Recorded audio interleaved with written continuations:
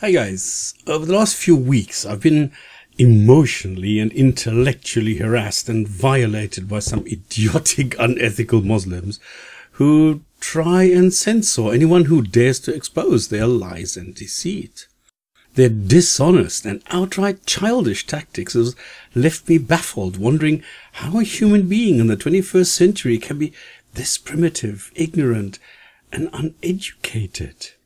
I know, I know they're Muslims, and I'm fully aware that most Muslims are illiterate and only a small percentage are, like, you know, educated.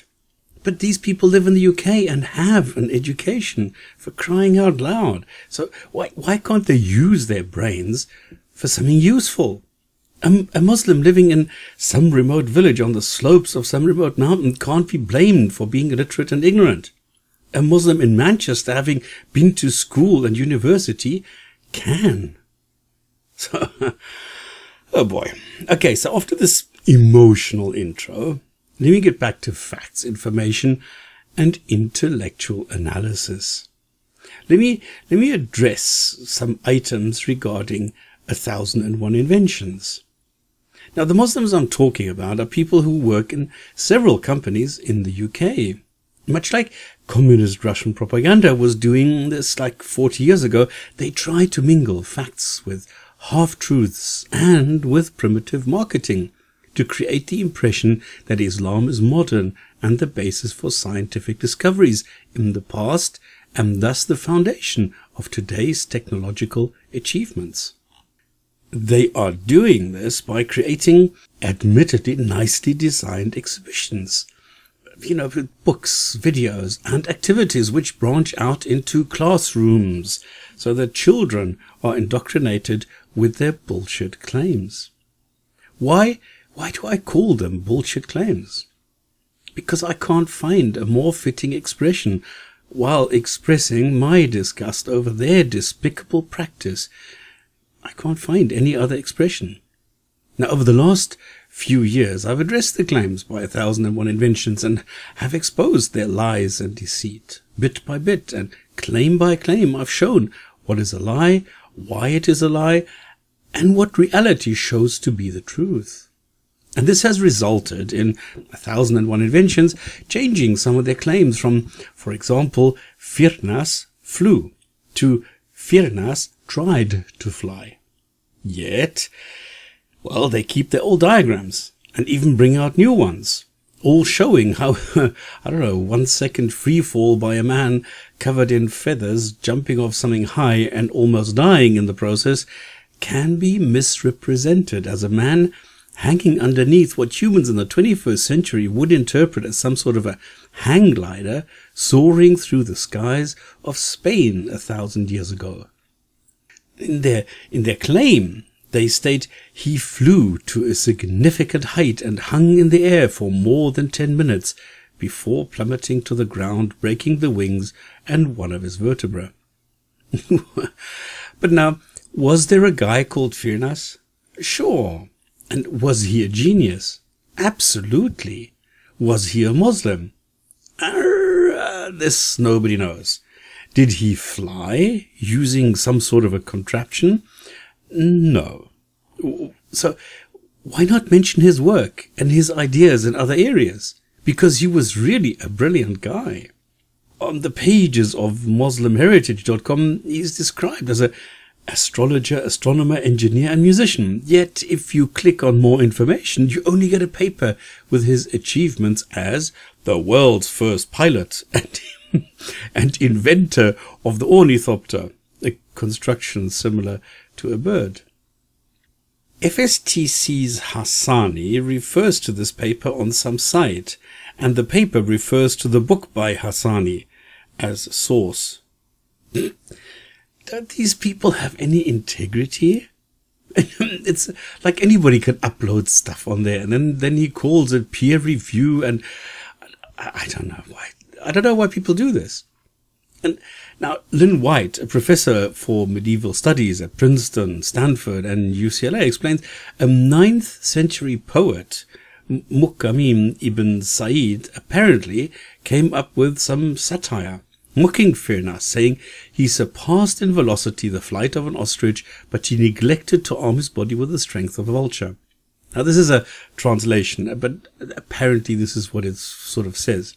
And that's all we have, okay? So from, from this, Muslims are able to deduce that Firnas was a Muslim and invented a flying contraption of sorts which allowed him to fly over Spain and they're even able to reconstruct this contraption. A replica, as Thousand and One Inventions calls it. A replica of hearsay? Uh, I mean, this is a blatant lie. And they know it's a lie. They've never produced any evidence to the contrary, other than some assertions by other Muslims, all based on a short, derisive poem. I mean, it's sheer desperation mixing fantasy with fact. And here's another example before I move on. Paper. And this is how they work. In a, in a children's textbook, they state that Muslims started making paper 1100 years ago. They learned this from, from Chinese prisoners. What Chinese prisoners were doing in Baghdad 1100 years ago is a totally different story.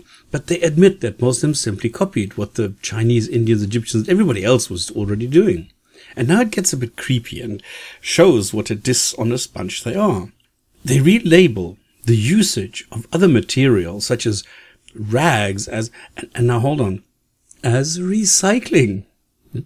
I mean, it's like, like watching the Flintstones where modern concepts also projected into the Stone Age. and the children's book now does a bait and switch as it claims that Muslims took their paper making techniques to many other parts of the world. In other words, Muslims simply take existing techniques, modify them a bit, and then when they conquer and colonize some more countries, then suddenly it's their technique, the Muslim technique. Now, what happened to copyright? What about trademarks and intellectual property? Not so important all of a sudden? Why are these Muslims and a thousand and one inventions so dishonest and so full of this bullshit? Why, why this compulsive, almost pathological desire to stand out as being the first to do something or being part of a large number of equal-minded people? Where's the benefit? I mean, one of the biggest brains ever in the human species was Isaac Newton. Why, why would I care whether he was a Marxist or a Muslim? I, I read that he was apparently quite an asshole, and he, but he did great things and really contributed to the benefit of mankind and made groundbreaking advancements, discoveries. That is what is important. I mean, if he was left-handed, liked blue, and had a mole on his cheek, and it so happens all this is true for me too, does that make me anything like him? No. The people over at A Thousand and One Inventions seem to have this huge inferiority complex built in, and are weak. They feel as though they are the victim and don't even realize what bullies they are, and how many normal people who read this stuff simply laugh. Unfortunately, some politicians are not too clued up and are easily taken in by marketing messages and lies.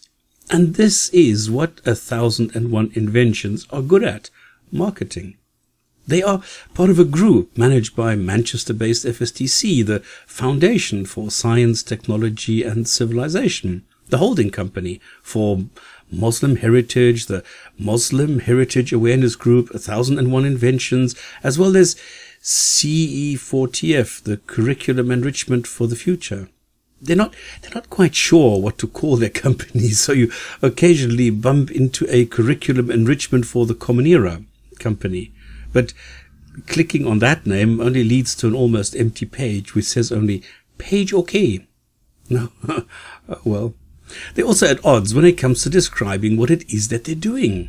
Some pages say that people of different nations, ethnicity, and belief systems contributed to the scientific development a thousand years ago.